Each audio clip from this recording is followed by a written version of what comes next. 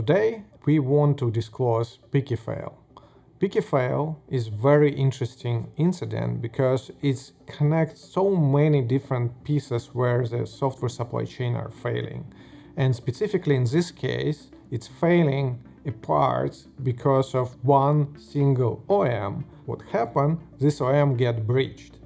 And during this data breach, one of the keys private keys related for signing of secure boot is leaked. Obviously, what happened on the next steps uh, after this data breach, this OEM continue to support this key and deliver the new device firmwares to the industry and these device manufacturers. After the data breach, it's supposed to be this key will be never used, but unfortunately, it's continuously been using uh, for the firmware development and for production devices, basically, PKfail, this certificate could be used to uh, actually help uh, attackers to malform the payload uh, similar to BlackLotus or other UEFI bootkits.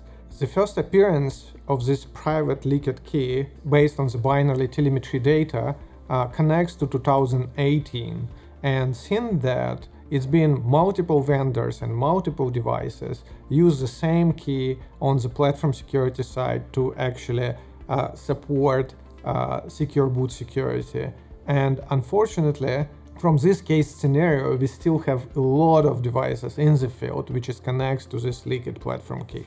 Non-production keys should never appear in production.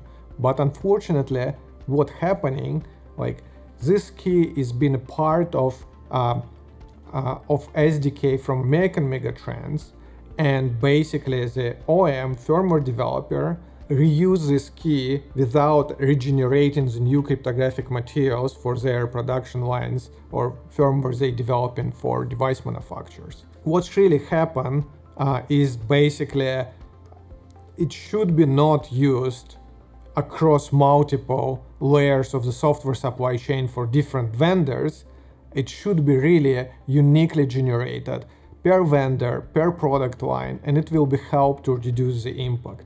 Binarly team is always focused on discovery uh, software supply chain failures, and it's not the first incident which we've been involved. One of the interesting incidents which is actually very well connected is the leaked bootguard keys which we discovered in the past.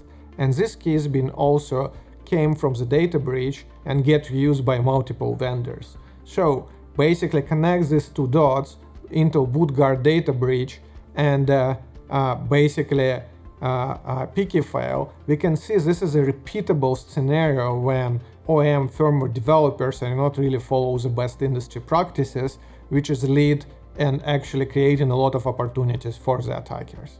My advice to um, to security teams will be first to identify the devices which is related to PKfail.